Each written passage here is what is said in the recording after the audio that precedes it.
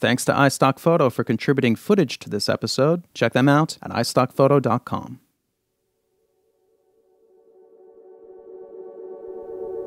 The genes in our bodies can be traced back over three and a half billion years to a single organism, Luca, the last universal common ancestor. As Luca reproduced, its genes copied and copied and copied and copied, sometimes with mistakes. They transformed. Over time, this produced every one of the billions of species of life on Earth. Some of these adopted sexual reproduction, combining the genes of individuals, and altogether, the best adapted life forms prospered.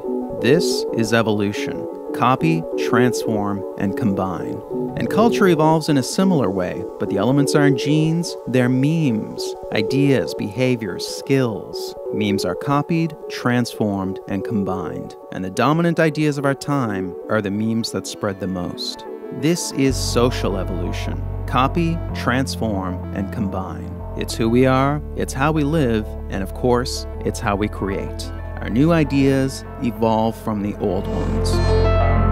But our system of law doesn't acknowledge the derivative nature of creativity. Instead, ideas are regarded as property, as unique and original lots with distinct boundaries. But ideas aren't so tidy. They're layered, they're interwoven, they're tangled. And when the system conflicts with the reality, the system starts to fail.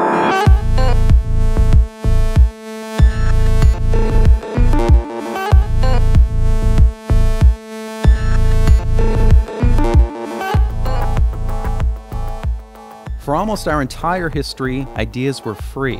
The works of Shakespeare, Gutenberg, and Rembrandt could be openly copied and built upon.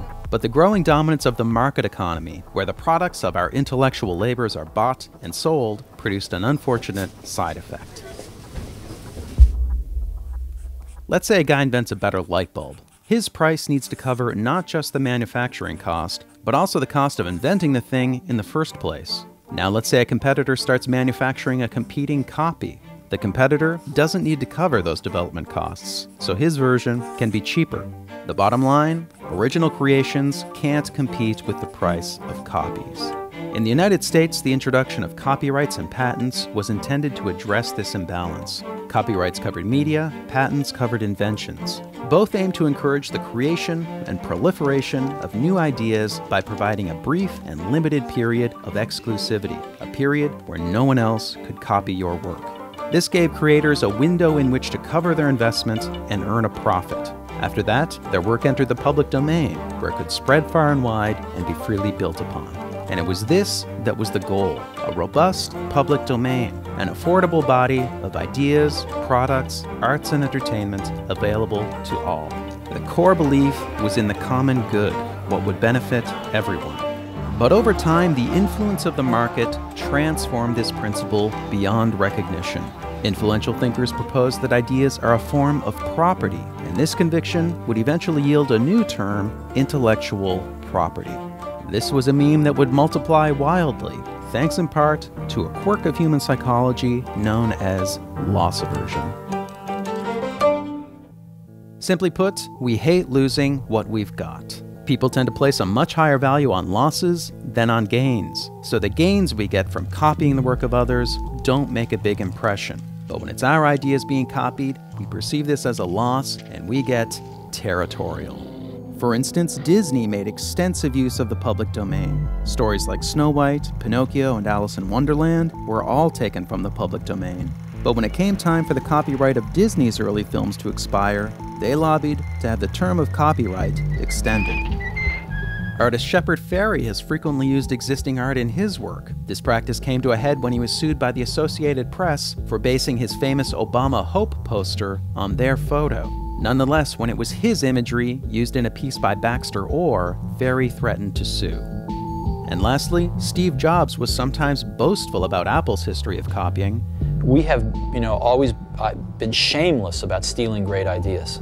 But he harbored deep grudges against those who dared to copy Apple. I'm going to destroy Android because it's a stolen product. I'm willing to go thermonuclear war on this. When we copy, we justify it. When others copy, we vilify. Most of us have no problem with copying, as long as we're the ones doing it. So, with a blind eye toward our own mimicry and propelled by faith in markets and ownership, intellectual property swelled beyond its original scope with broader interpretations of existing laws, new legislation, new realms of coverage, and alluring rewards. In 1981, George Harrison lost a $1.5 million case for subconsciously copying the doo wop hit He's So Fine in his ballad, My Sweet Lord.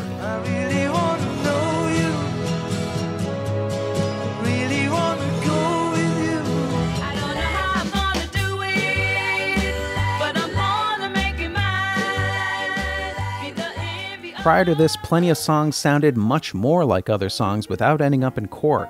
Ray Charles created the prototype for soul music when he based I Got a Woman on the gospel song It Must Be Jesus.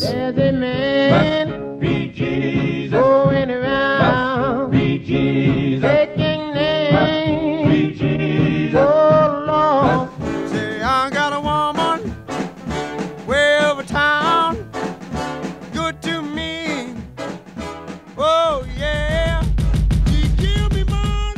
Starting in the late 90s, a series of new copyright laws and regulations began to be introduced, and many more are in the works. The most ambitious in scope are trade agreements. Because these are treaties and not laws, they can be negotiated in secret, with no public input and no congressional approval.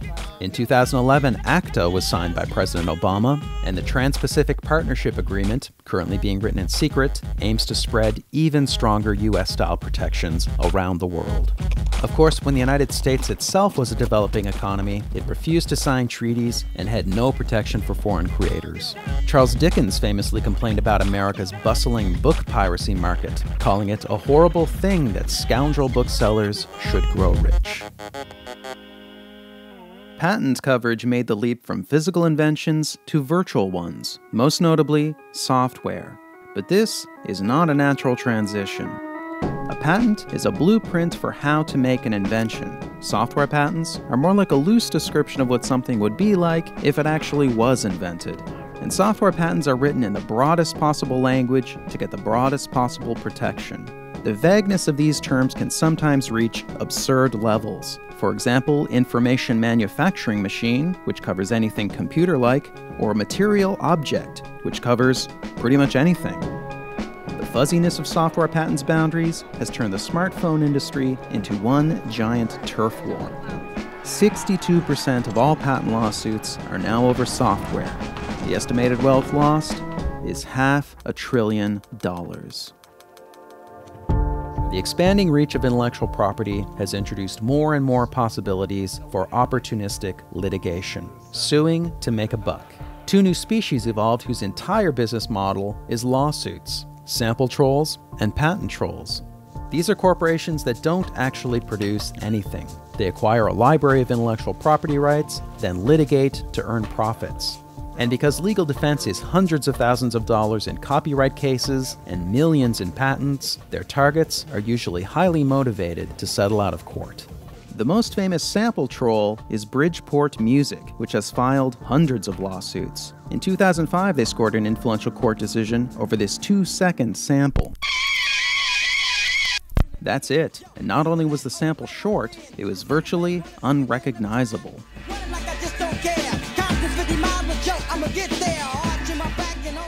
This verdict essentially rendered any kind of sampling, no matter how small, infringing. The sample heavy musical collages of hip hop's golden age are now impossibly expensive to create.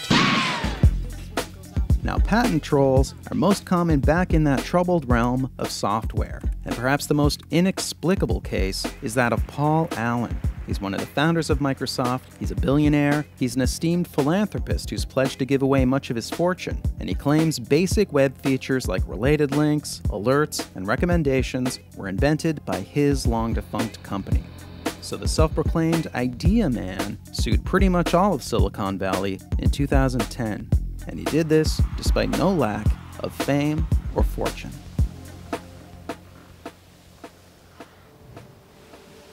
So, to recap, the full picture looks like this. We believe that ideas are property, and we're excessively territorial when we feel that property belongs to us.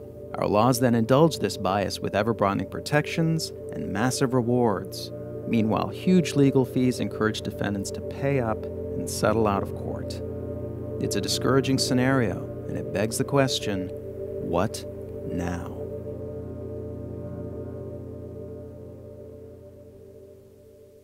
The belief in intellectual property has grown so dominant, it's pushed the original intent of copyrights and patents out of the public consciousness. But that original purpose is still right there in plain sight. The Copyright Act of 1790 is entitled An Act for the Encouragement of Learning.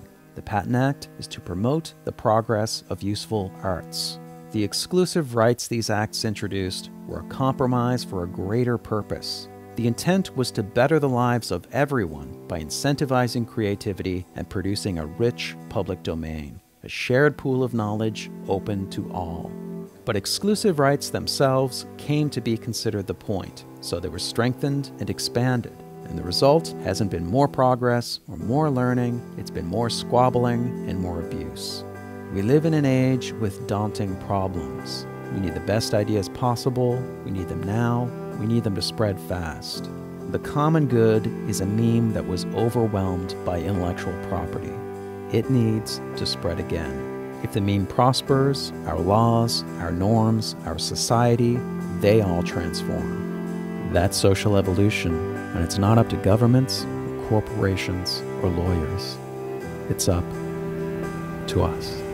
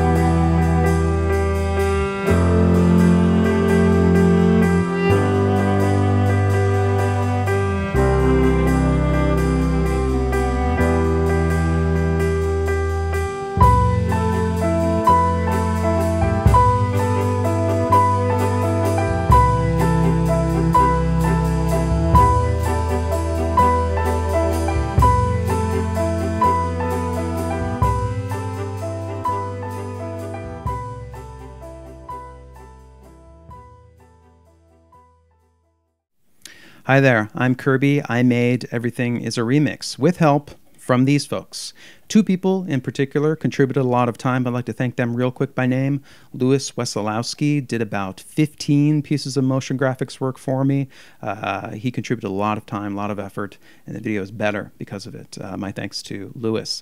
Thanks also to Juan Behrens, who did the uh, memes animation, which took a lot of work. My thanks to Juan for his patience on that.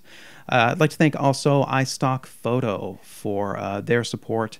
They donated a lot of stock footage to this episode, and I think it was one of the elements that helped raise uh, the production quality of this episode to the highest level that it's been yet.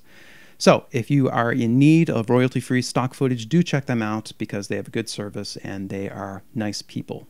But most of all, I want to thank you for your attention. I really do value it, and I try very, very hard to make the most of that time that you give me. So, thank you so much for coming along on this journey with me. It was an absolute joy to do it. I get asked all the time if there's more after this. There's not. This is the conclusion. This is the end. There are extra things that you might enjoy, but that's the end of the main story. So uh, there'll probably be another supplement video, kind of like the Matrix and Tarantino ones that Rob G. Wilson made for me. There'll probably be another video along that line. Uh, I also have a talk coming up that will sort of uh, use the same material but sort of reframe it, uh, streamline, and kind of upgrade the argument, and I think it, it should be really good.